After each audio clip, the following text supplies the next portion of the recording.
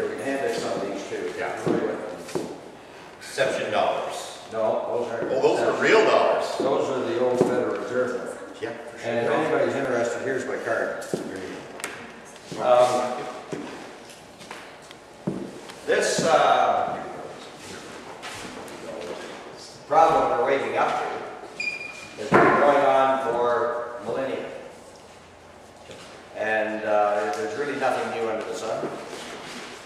And uh, I guess we're just lucky to be living in a special uh, time period of uh, civilization to experience uh, the critical uh, happenings. Now,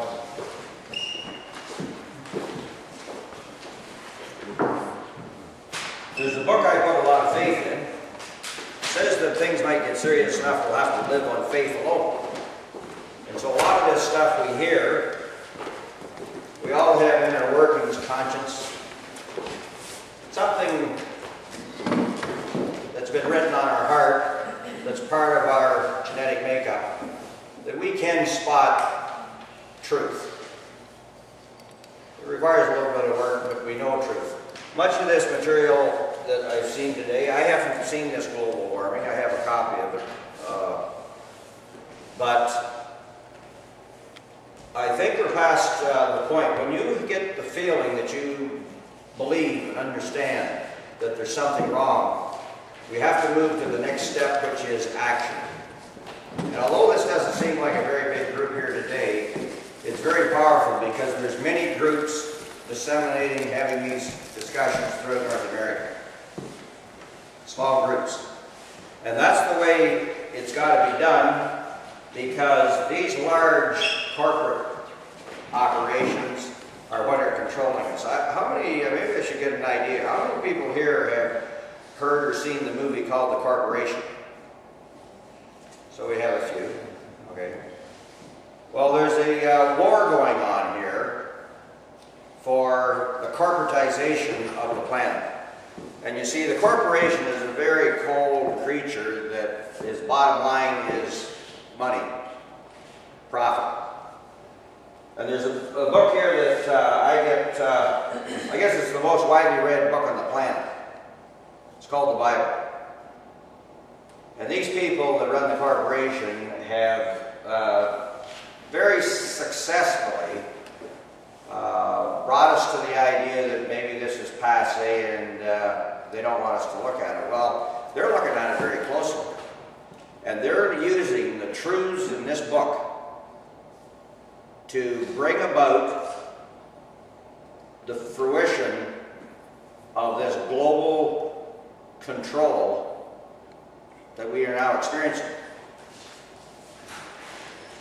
The principles in here are endless. And I'll, I'll touch on a little bit in this uh, presentation. But there's, when this book was written, they said there'd be words shut up and sealed in this book until the time of the end. When the time of the end arrives, the truth will be revealed. And you see, this book has been written and rewritten many times. And we've heard that it is a uh, book that was inspired by our Creator. And we've been encouraged to think, well, that's fairy tale stuff.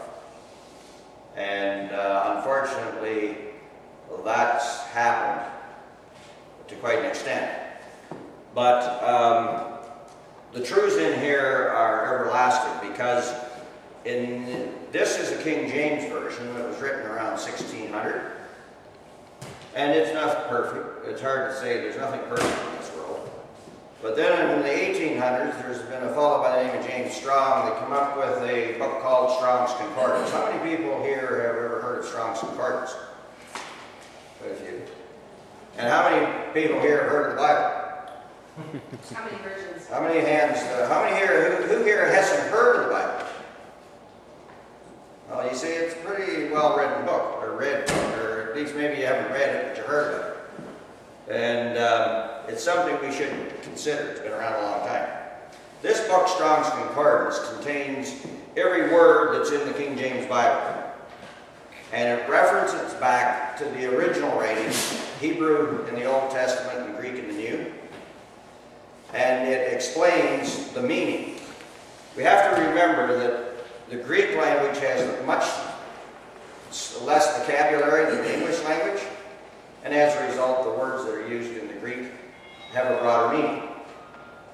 In addition to that, the book I'm focusing on, that was written uh, just after, uh, uh,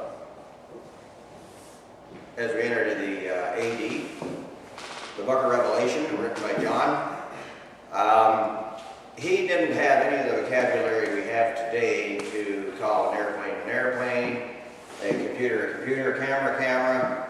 Um, much of the vocabulary we have today wasn't in existence then. So he could only talk in very broad general terms. And I think if you take a little time and apply Strong's Concordance to the Bible, it will be extremely revealing.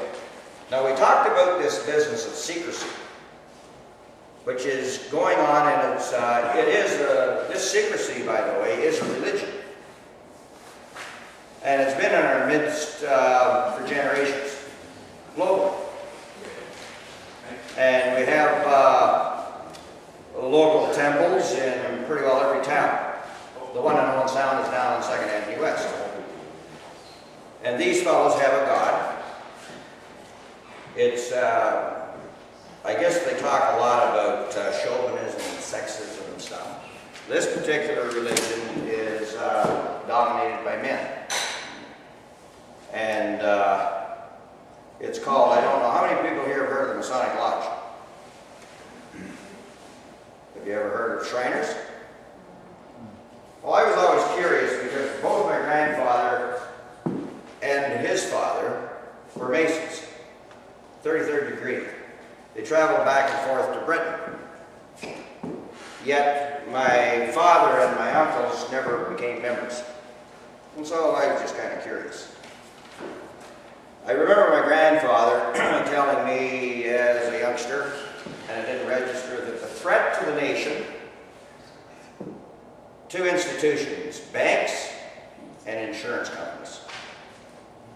And of course, I didn't relate to that at the time, but uh, over the years, I've come to appreciate that statement. This here uh, that I passed out is called the Federal Reserve Note which is a private, uh, how many people realize the uh, Central Bank of the United States of America is a private bank? That's good. Okay. And uh, if you take a close look on this note, you'll see that it's hidden in plain sight right at the top. There's the Federal Reserve Note. And uh, off to the left,